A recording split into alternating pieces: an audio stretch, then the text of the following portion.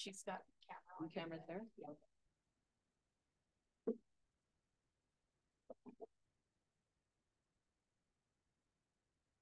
So hello, everyone, and uh, welcome to the Center for Health Informatics. Today, um, or I'm Cathy Eastwood, and I'm the Associate Director of Research and Strategic Partnerships here at the Center. Uh, we're here and we're also online, so I'd like to introduce to you today our speaker for our speaker series is Dr. Jessalyn Holodinsky. Jesselyn is a data scientist and epidemiologist. She specializes in answering important healthcare questions through a unique population and policy-based perspective. Her work focuses on complex problems at the healthcare system level, resulting in the optimization of healthcare services and patient outcomes for emergent conditions. She's highly skilled in administrative and big data use, complex modeling techniques, including machine learning and health systems level research. So thank you very much for joining us today for the Center for Health Informatics speaker series. And we'll have this discussion today about improving outcomes, saving costs, and looking at volumes and changes uh, through the example of emergency stroke transport. All right, here's.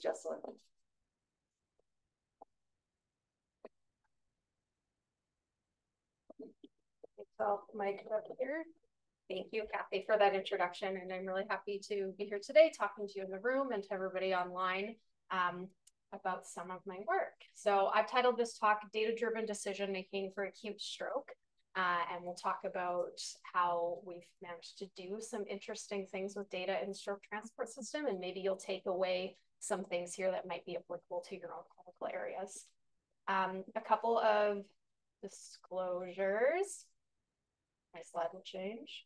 Oh, no, there we go. Uh, this work was funded by Alberta Innovates and CIHR throughout my PhD and postdoc. Uh, and then I'm also the part owner of Destine Health Inc., which is a software company that's spun out of this work. And I'm going to talk about it a little bit today. So when Karen asked me to come and talk um, about this, this was the paper that she wanted me to come talk to you about, which was um, quantifying improved outcomes, cost savings, and hospital volume changes from optimized emergency stroke transport uh, the first author here, Daniel Padarkar, is a um, math and stats master student from the University of Washington that I worked with over a couple of summers uh, and was really fantastic in this work. But before I can get you here, I'm going to take you back in time a little bit. We're going to go back to the future, and this we're going back to 2015, which is when the future of stroke research really started for me.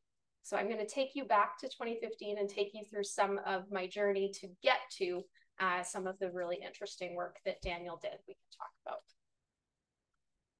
Um, I'm going to level set everybody here. So this we're all going to talk about acute stroke today. So in case anybody is unfamiliar, um, an ischemic stroke is a blockage uh, in the brain. So that means that anything downstream from that blockage is, you know, losing oxygen, losing nutrients, and the brain will start to die. Uh, in the stroke world, we often say that time is brain. And so in a typical large occlusion stroke, uh, the average patient loses about 1.9 million neurons every minute that their brain is oxygen deprived. Um, so that is a massive loss in terms of the patient. So it is really important to treat stroke effectively and very quickly.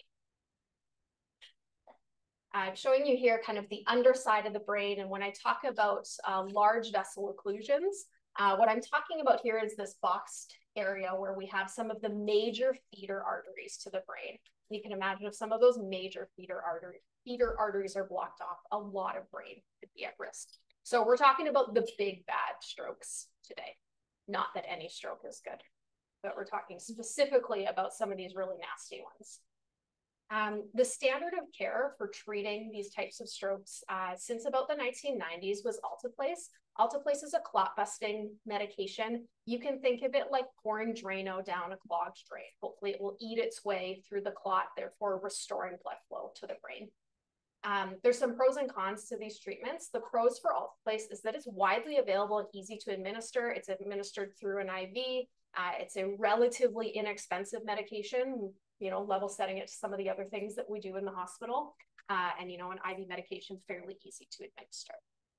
Uh, the cons, though, is that it has low efficacy, especially in these big bad clots that we're talking about. Depending on the location of the clot and how close it is to the beginning of that circle of Willis in your brain, we could be looking at only 1 to 39% efficacy. Of course, the further into the brain you get, the smaller the clot would have to become. Therefore, maybe you've got a better chance of eating through it. But some of those big bad clots, it's not going to work very well there. So a really, really exciting time for stroke was in 2015 uh, when a procedure called endovascular therapy was proven to be more effective than alteplase for treating these large strokes. Um, this was done by uh, five RCTs around the world. One of them was actually led here at the U of C by Michael Hill and Matt Goyal's group, which was very cool. Uh, and endovascular therapy uh, is when a catheter is threaded from the femoral artery up into the brain and the offending clot is physically removed. So if we want to go back to the plumbing analogy, you know, this is getting the pipe snake out and removing all the gunk from the clogged sink. Pros to this treatment is that it is super effective, up to uh, over 80% efficacy. And I will say every year that registry data comes out, this number just keeps climbing and climbing with improved techniques, improved training, and some improvements in the actual catheter itself. Uh, but the cons here is that we need really specialized equipment and personnel to be able to perform this procedure. Um, this is performed um, under angiography. So you need an angio suite with biplane angiography. So looking at the patient from two views. Um, you need a lot of different personnel and some really highly trained neurointerventional radiologists. So you can imagine this is something that is just not going to be available at all of your community hospitals. We just don't have the equipment or the personnel to support that. So what ends up happening is that we get centralization of treatment and that we're, you know, no stranger to centralized treatment in the healthcare system. And this has happened in stroke. So that means that we do have geographic disparities in access. Um, I'm showing you here a map of Alberta. I hope everybody can see it okay. There are some yellow dots on the map, which indicate hospitals, which we call stroke centers. And these have um, people that are trained in them to be able to deliver alteplase, the clot busting medication. But then we just have two centers in Alberta, Foothills Hospital here, and then the UAH in Edmonton that have the equipment and the personnel available to deliver endovascular therapy. So in a situation where every minute counts for a stroke patient, if you are not living in the Calgary or Edmonton area, we have a problem in terms of how to get you access to the right treatment very quickly. Um, and so this all happened right when I was beginning my PhD. And the question on everybody's lips was, well, what do we do? How do we transport these patients?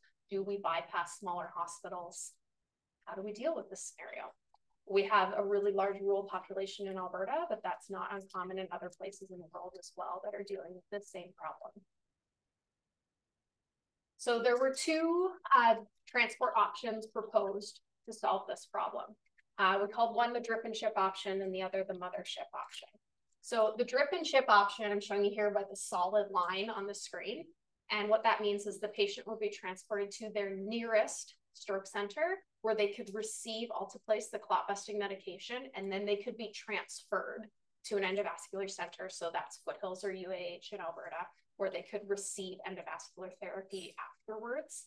These two procedures can be combined. They're often frequently combined, and there's even some thought process out there that perhaps giving clot busting medication first might soften up the clot for easier extraction later, but that's heavily debated currently in the literature.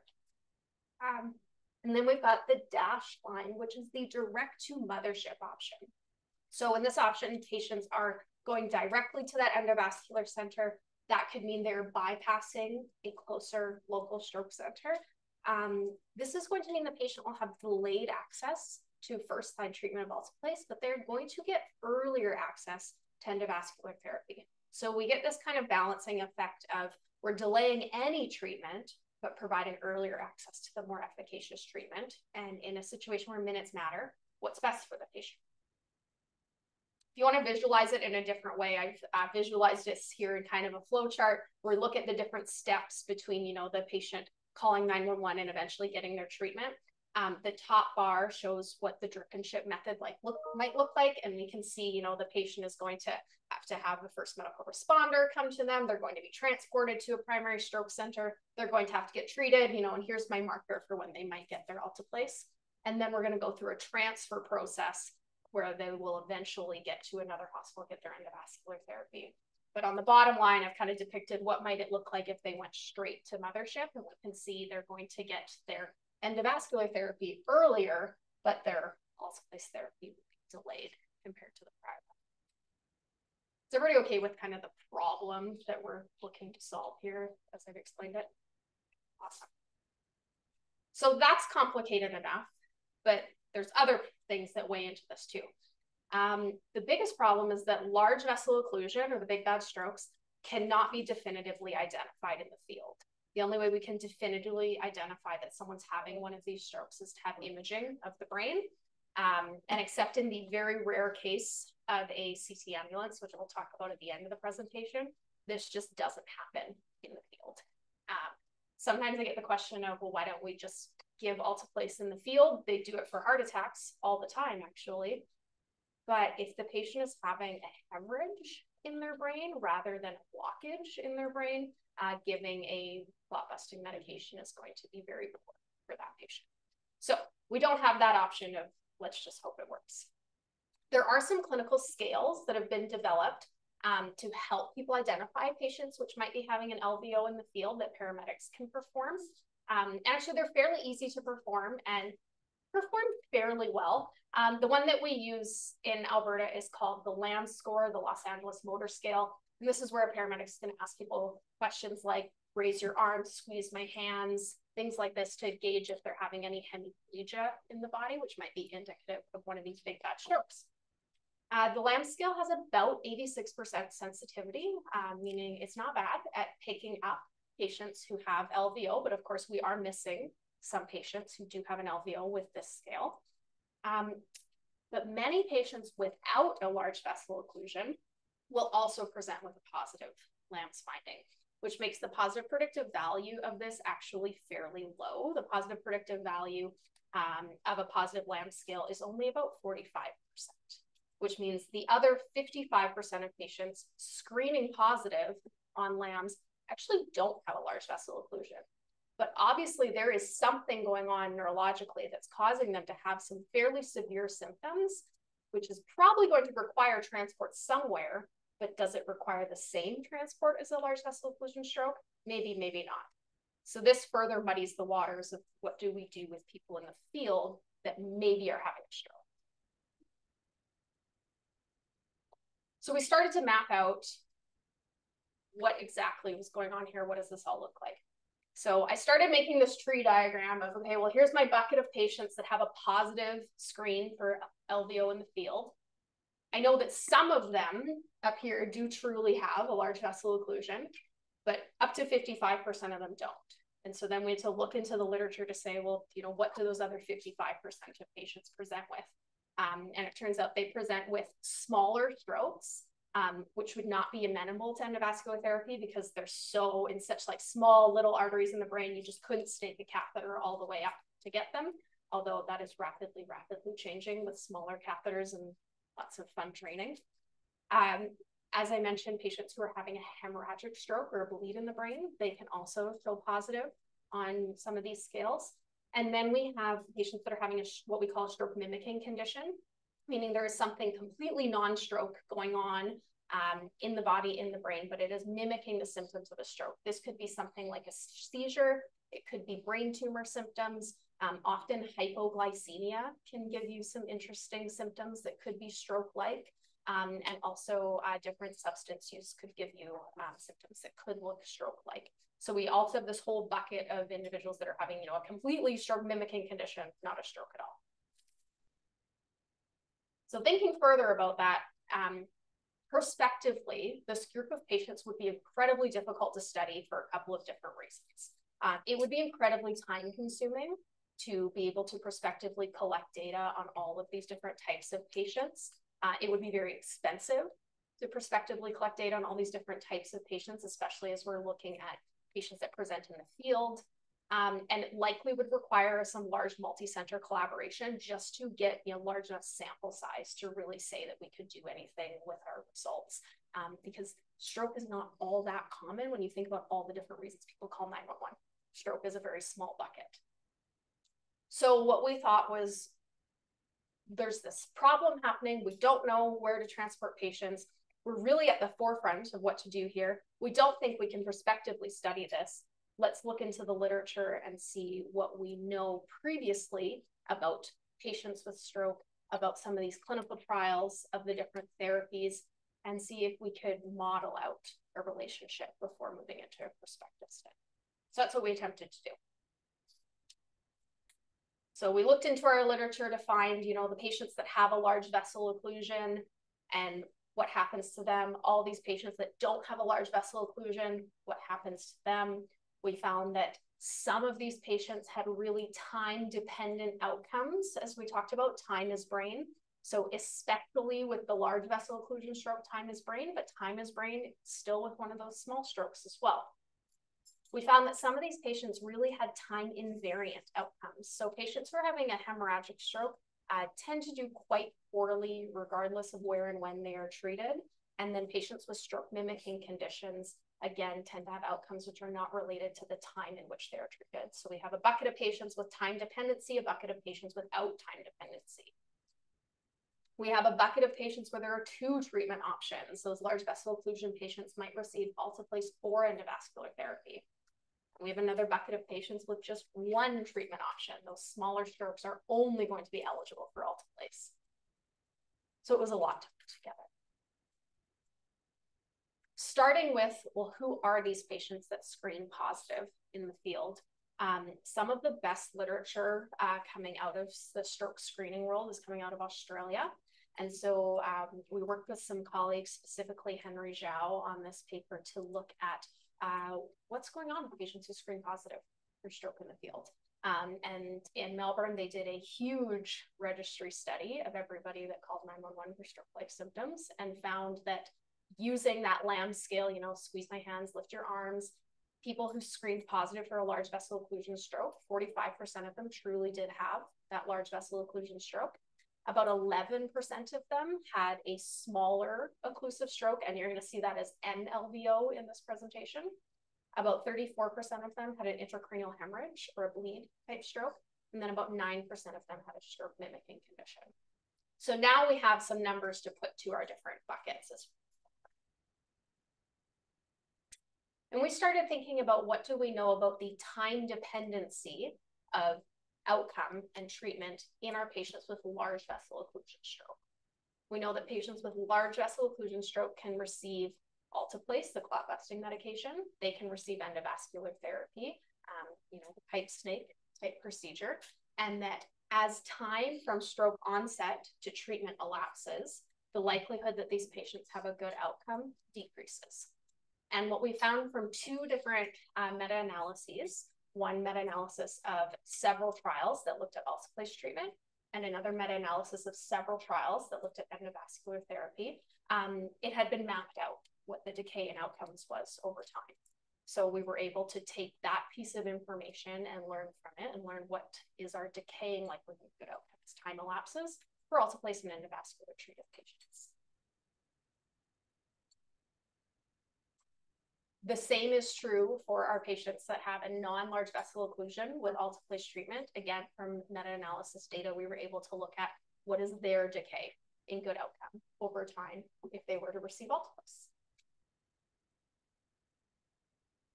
And then again, looking at our patients who were having a hemorrhage or stroke mimic, um, at the time of modeling, we found that these patients were largely non-time dependent although there is very recent, like eight weeks ago, recent data that perhaps there is a time dependency to certain treatments for hemorrhage. Um, so this is going to be some future work of if this bucket of patients truly is time dependent, that will change things.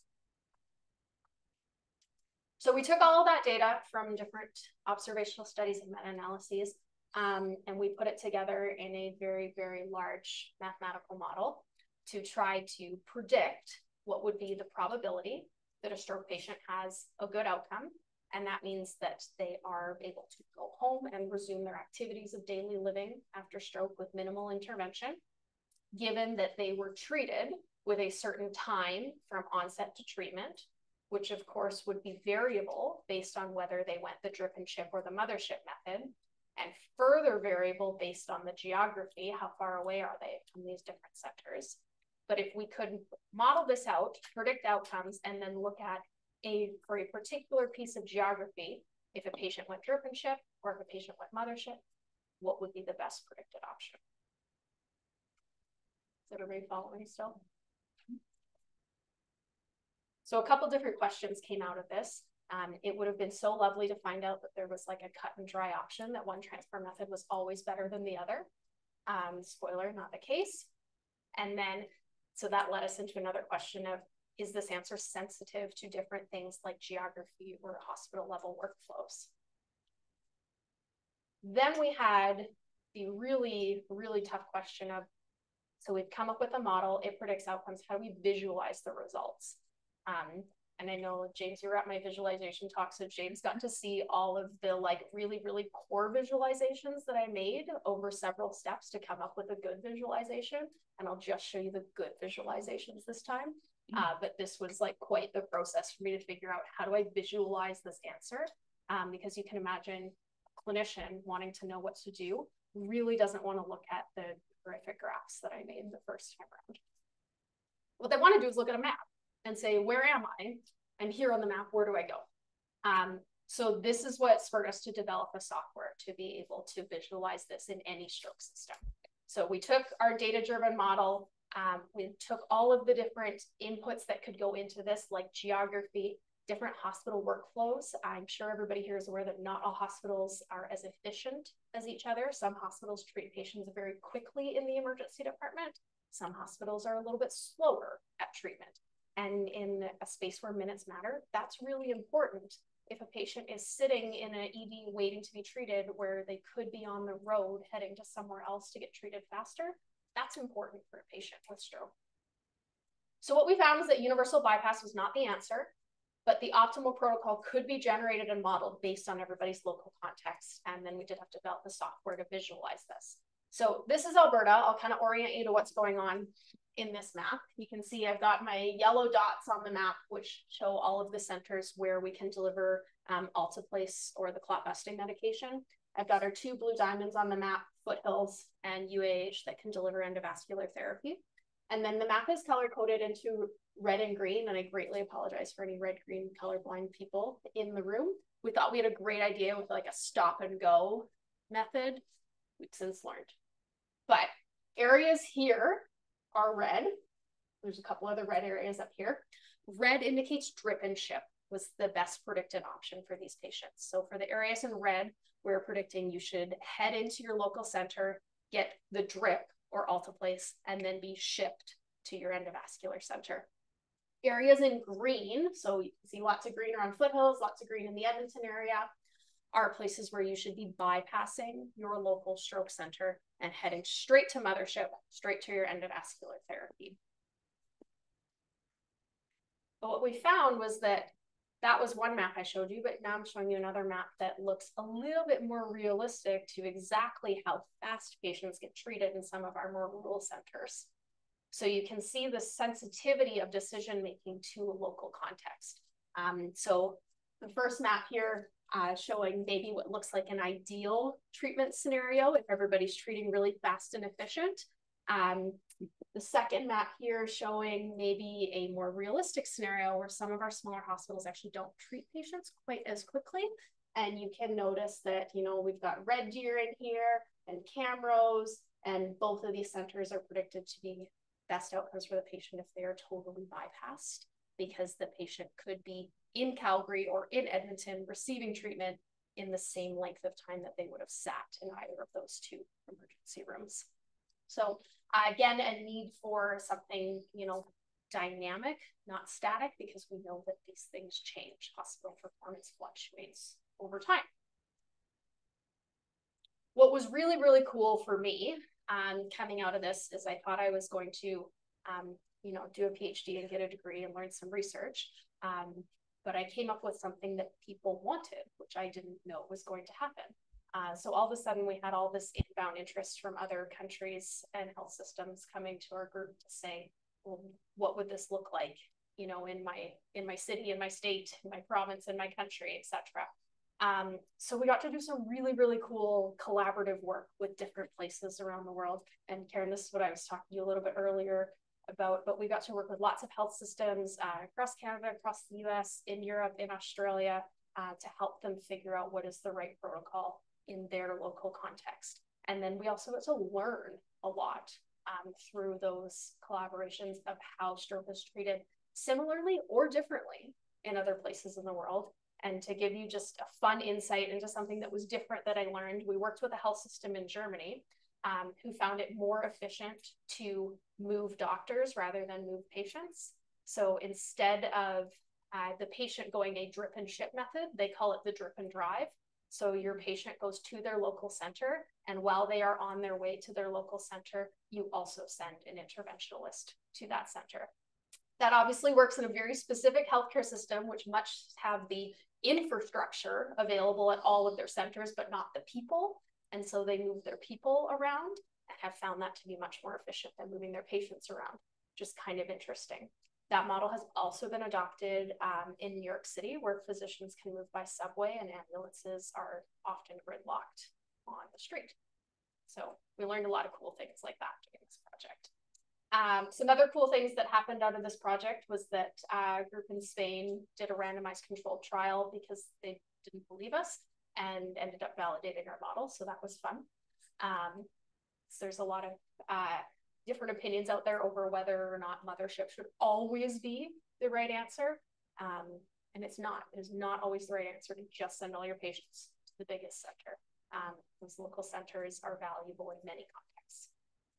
Um, and then now modeling a system for your local context is actually a part of both the American and the European stroke guidelines that you need to consider these things for your patients.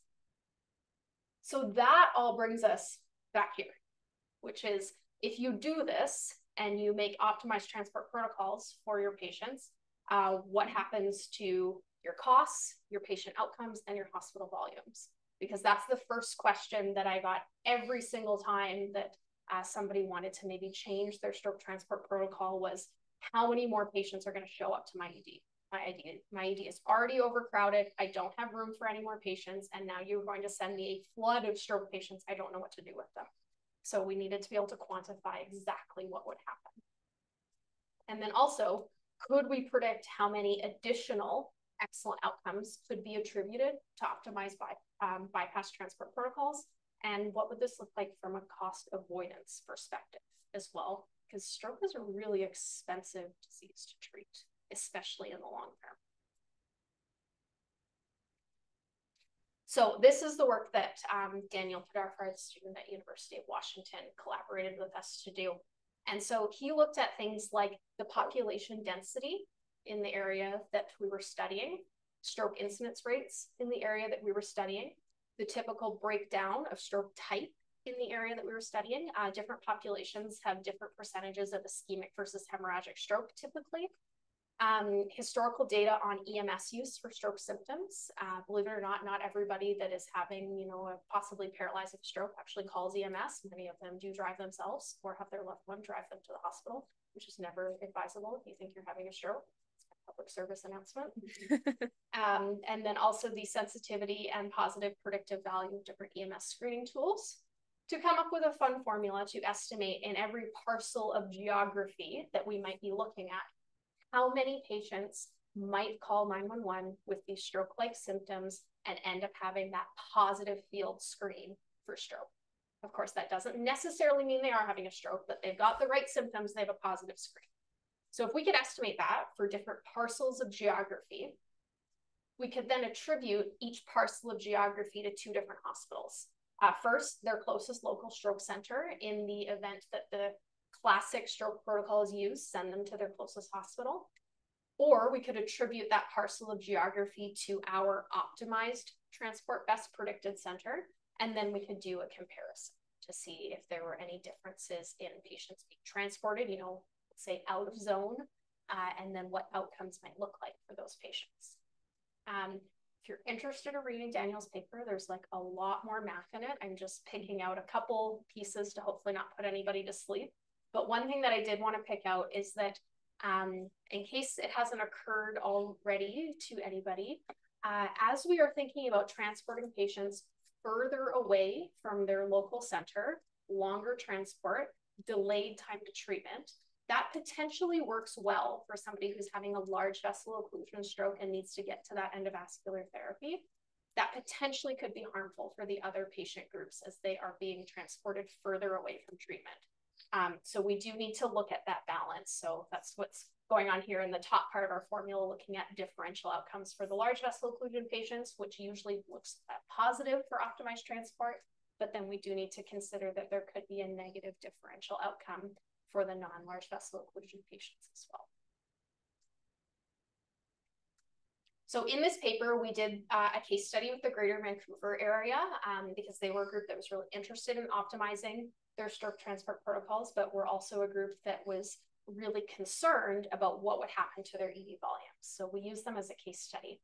Uh, to orient you to the geography on the screen, you're looking at uh, Vancouver going east to Chilliwack. This is uh, this last center here is Chilliwack. This is only about a 70 minute drive. So if you imagine, you know, 70 minutes outside of Calgary, you're not quite getting to Red Deer and look at all these hospitals in between. So this is a very different scenario than what we have in Calgary. Um, unsurprisingly, when you have a lot of hospitals really close to these big centers and you might sit in an emergency department when you could be just half an hour away from a bigger center uh, given the local context and some of the slower treatment times observed um, recommended bypassing all of their smaller centers bring everybody into their two EVT centers in downtown Vancouver. Um, that's a lot. And what I've shown you here, and I hope online, I'm sure you can see it at the back of the room, maybe you can't, but I have numbers in these bubbles. So here's an endovascular center. It's got the number 475 in it. That's 475 additional patients per year we think that center will see with optimized transport because we're diverting patients away from some of their local centers. Uh, this hospital is uh, more greatly affected, 962 additional patients per year. So at our first hospital here, that's about one to two patients a day in the ED. Here we're looking at about two to three patients a day in the ED. And of course, these are patients that have screened positive for stroke. It doesn't necessarily mean they're patients that are going to be treated for stroke. They could be having other things going on. But that's what the impact looked like for these two hospitals anyway. One to two or two to three extra potential patients a day. And of course, that means that our other centers are seeing fewer patients as that's where they're heading into. Looking at that on a bigger scale, um, annually in this geography, which has got just over 3 million people, we estimate that there would be about 2,000 suspected large vessel occlusion transports a year. So about 2,000 patients that meet that uh, you know, positive LAM scale, we think they're having a large stroke. Among those, it's 71% of them that are going to be routed away from their local closest hospital. So that's fairly significant in terms of rerouting patients. In doing so, the net benefit was we estimated to be 52 more excellent outcomes. Uh, so, of course, not just 52 patients having excellent outcomes, but 52 additional patients having excellent outcomes with this rerouting and earlier access to endovascular therapy. Looking at how resource intensive it is to treat a stroke patient who has a poor outcome, including things like rehab and long term care stays. Um, that's about $3 million in cost avoidance in the first year alone. Um, thinking about any extended stay in rehab or long term care, you can imagine how that number might grow. Um, and that was based on costs associated with different levels of post stroke disability. If you like to view this in a different way, we put together this uh, about 14,000 um, diverted transports, 52 net benefit that's a number needed to transport of 27. So for every 27 patients that you transport in an optimized way, you're getting one additional slam. Positive, yes. Super efficient and practical, not really. Think about some of the other things that happen when you maybe take an ambulance out of its home territory, like an ambulance from Chilliwack, a smaller center. If you're going to send that ambulance, you know, 70 minutes into Vancouver, and that paramedic is going to sit with a patient perhaps for a while. They're going to have to get back to Chilliwack. Uh, you know, are we resource depriving another area for a length of time? Um, that's something definitely to consider. So there is a lot going on in this type of decision making. So the question becomes, well, how could we reduce this number needed to transport? Uh, what if the number needed to transport, you know, was three, four, five? Um, maybe that would we would think, okay, well now it's worth it to be sending ambulances way outside of their jurisdiction to be improving patient outcomes. The big answer to that is increasing diagnostic capability in the field. If we could be better at field diagnosis, we could be better at identifying patients that really need to be treated in the field and getting them to the right place at the right time. So I'm departing from the paper I was asked to talk about today and talking about some of the cool future things that are happening in stroke to maybe help get this to a better place. So the simplest way to do that would be maybe to have a better screening tool in the field. Um, so I'm showing you here the Act Fast tool, which was a tool uh, generated in Melbourne, which was shown to have a much higher positive predictive value than some of the tools that are used in other places in the world, including uh, here in Alberta. And also, really interestingly, it picked up very few stroke mimics as positive screens here. So, thinking about if you could eliminate that stroke mimic category, you are only transporting patients that have some type of stroke that need to go somewhere eventually. So removing that group from your consideration would be really great for optimizing uh, stroke transport protocols. One of the more difficult things about this tool, and this is where uh, I've learned a lot about uh, different ways that hospital systems work internationally.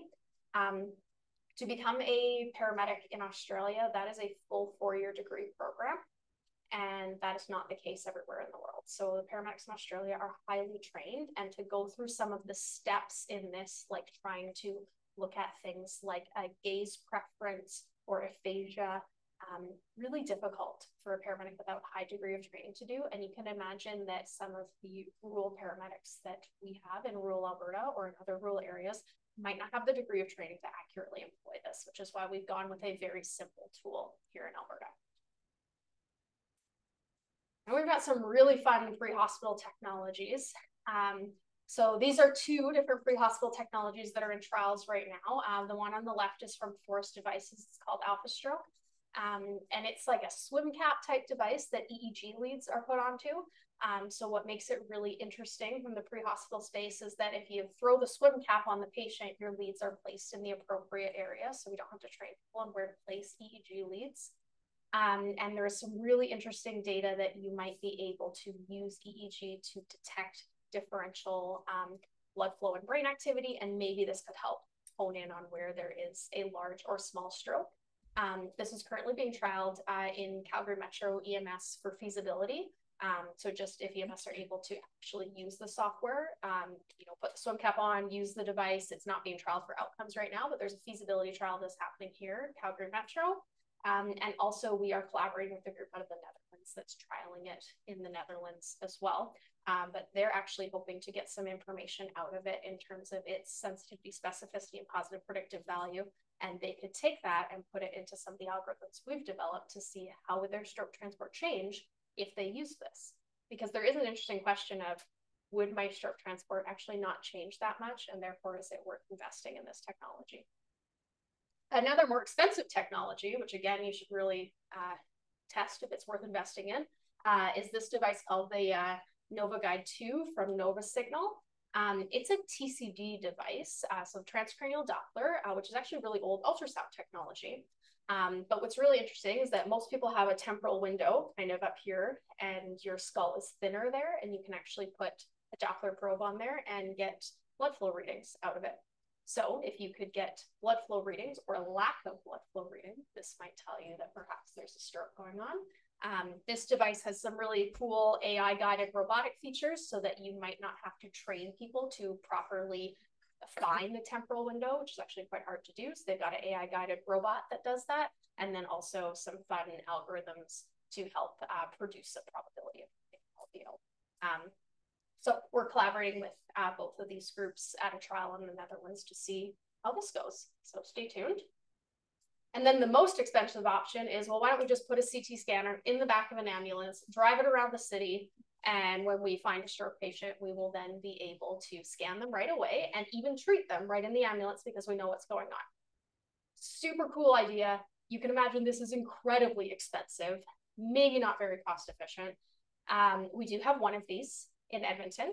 Um, and it runs on a really cool model where they actually try to rendezvous with an incoming ambulance from a very rural area, such that it's kind of like they're bringing the primary stroke center to you. Uh, so that's the way that Edmonton is deploying this, kind of on a week on, week off basis uh, for trialing outcomes. It's pretty interesting. But there are um, lots of very well funded healthcare systems in the US and in Europe that actually have several of these within their city limits. And they do uh, respond just like a normal ambulance to a suspected stroke call. Um, but they're also really, really expensive in terms of staffing. Uh, they are currently staffed by a CT tech, a nurse to deliver alteplase, and often a stroke fellow. Um, so you can imagine the uh, staffing power that goes into that to have uh, those individuals available, you know, on shift anytime to potentially not have a call that this ambulance is useful for.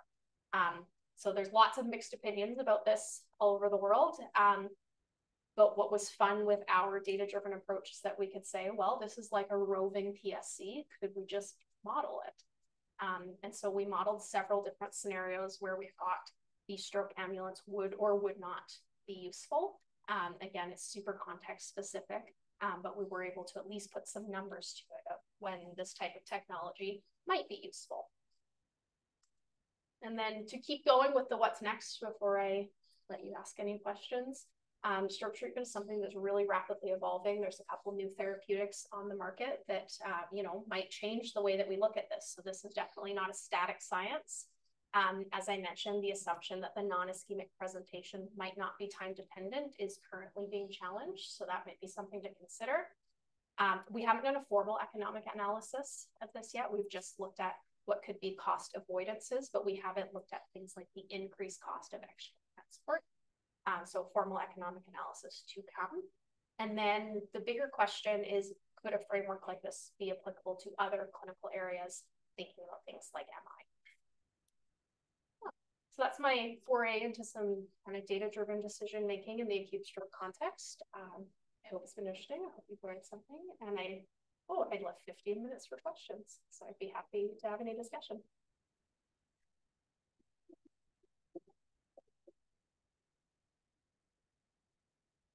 There are any questions yet? Question? Elliot. Elliot. Um, so in your map of Alberta, mm -hmm. had some green at the very north above some red. So I was wondering what. Oh, good eye. There. Yeah. Um, so Alberta is massive, as we know. So these places up here that are green all the way up here, this is far enough away from, this is Fort McMurray.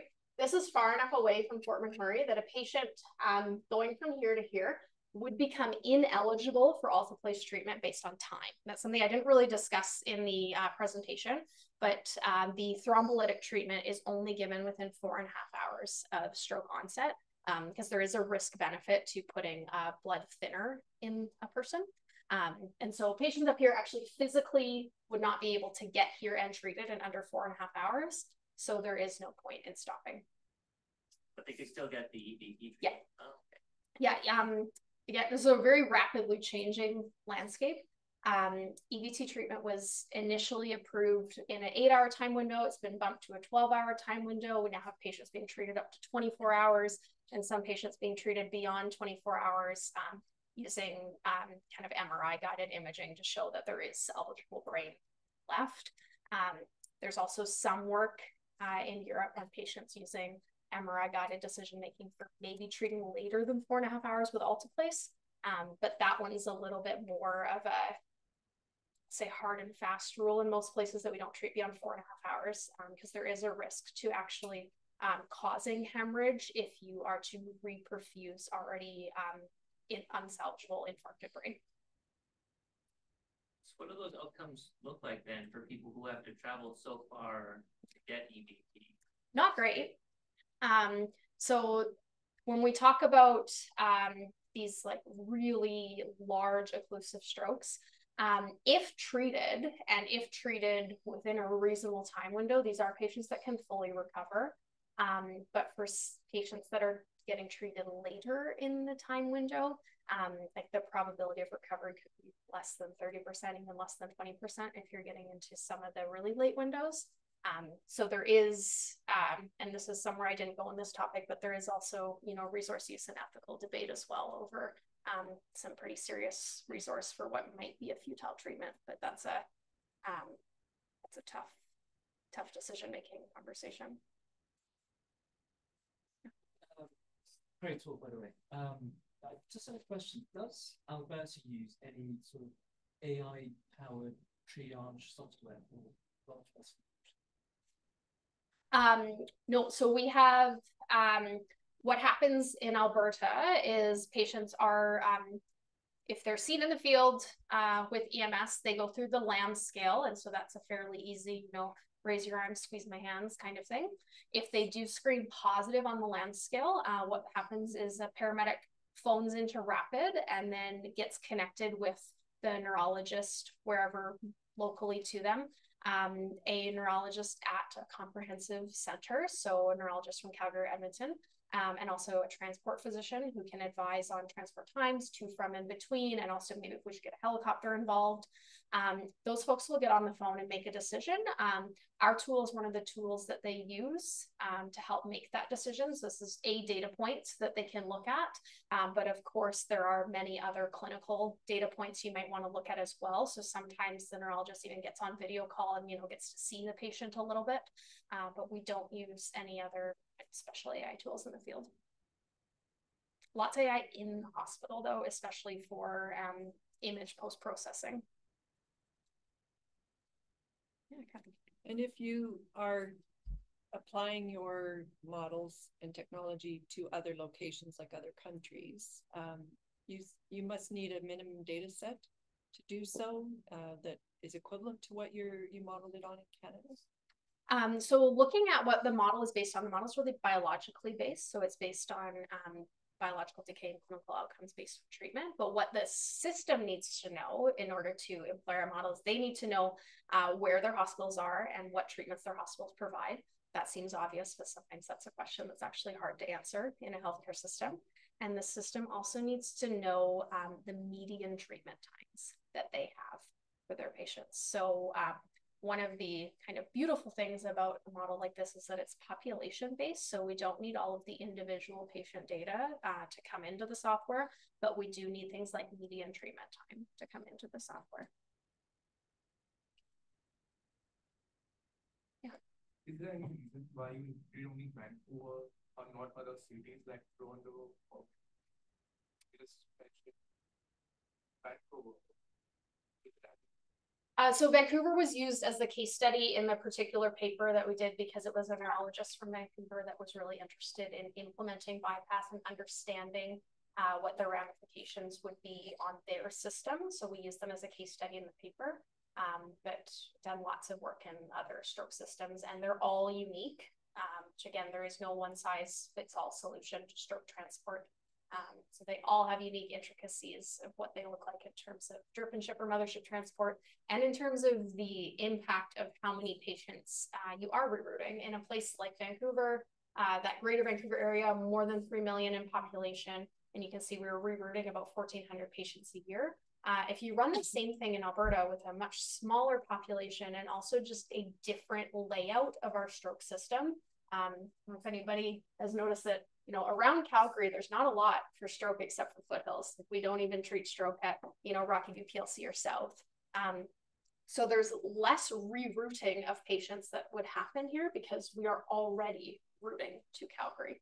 Um, so it would be far fewer than 1,400 patients a year rerouted in Alberta for population density reasons and just different setup. So it's totally unique based on system, which is one of the things I think is pretty cool. Which tool you use for this data analysis? Uh, it's a custom built software um, that we used. I think we're probably getting to this in the future studies around economic value. Uh,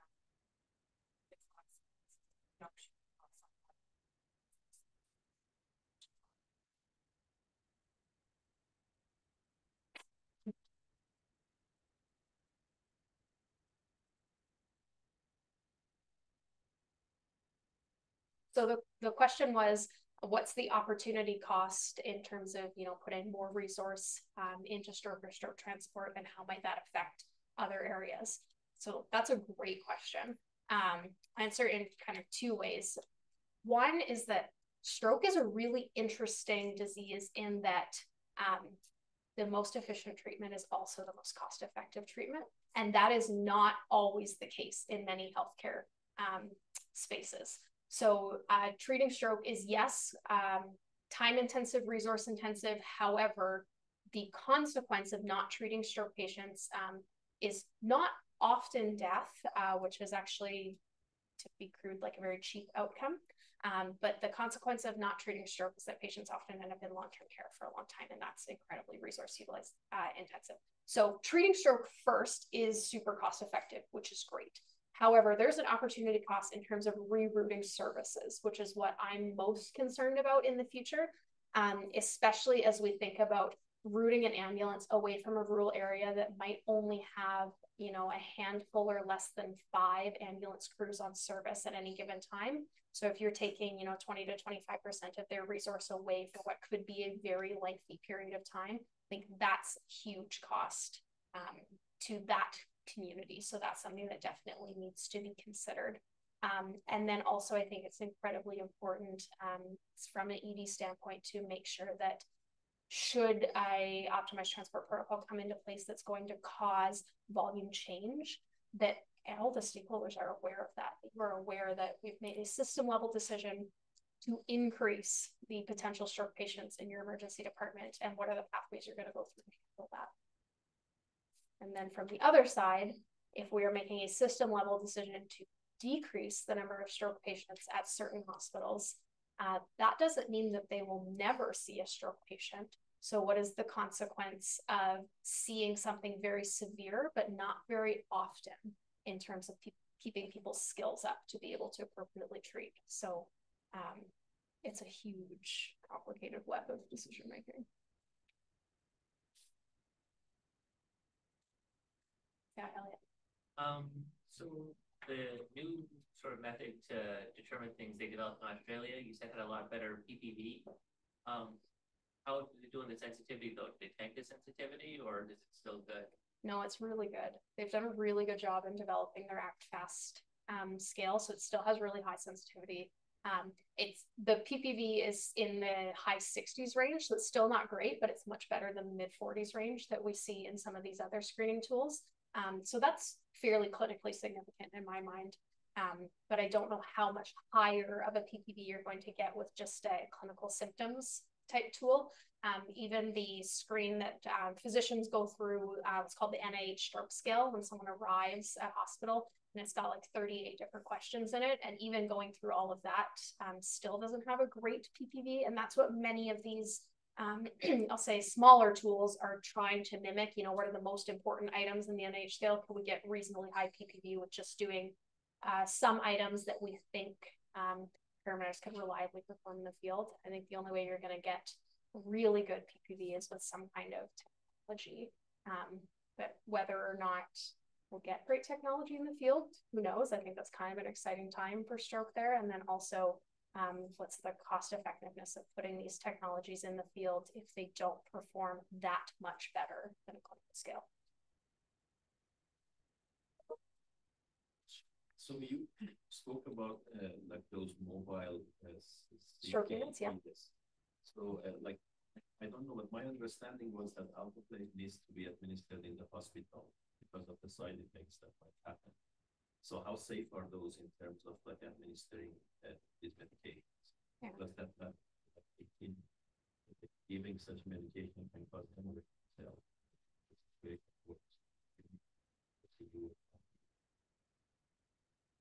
So the question was in terms of mobile stroke units uh, being able to deliver alteplase in the field, is that safe to do so? Um, so yes, it has been found safe to do in the field. Um, it, there's several um, mobile stroke units across the world, and they've uh, come together in what's called the Best MSU Consortium um, to pool all their data. So it has been found safe in the field, but it's safe in the field because you can do a CT scan to rule out hemorrhage at the outset. Uh, in terms of delivery in the field, it's delivered via IV, and uh, we do require in Alberta that is a nurse uh, at minimum that is delivering. So we do staff um, with both nursing and stroke fellows. Uh, this is not something in Alberta, anyways, that paramedics can deliver in the field, um, but in other locations, that's actually different. Um, and then the also the other idea with a mobile stroke unit is that they're not that far away from a hospital, right? So they're deployed in an urban area, um, with the exception of Edmonton, where they rendezvous with an incoming ambulance. Um, but you can imagine they're not that far away from the hospital. So as soon as they're treated, they're on the road back to a hospital. They might be at a hospital with an intensive care unit available to them in minutes.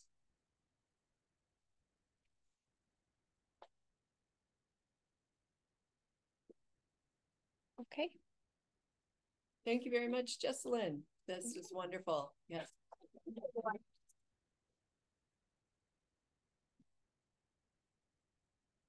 Thanks, everybody, for chiming in online. Oh, I didn't even look at the questions online I missed. No. Yeah.